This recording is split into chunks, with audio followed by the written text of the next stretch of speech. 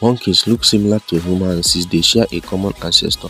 Monkeys and humans share a genetic heritage meaning that the two species had a common ancestor many millions of years ago that was then split into apes and humans. Monkeys and humans also share similar brain structure, facial features and physical characteristics such as thumbs and teeth, which are all a result of our shared evolutionary history. Thanks for watching, please subscribe and like for more videos.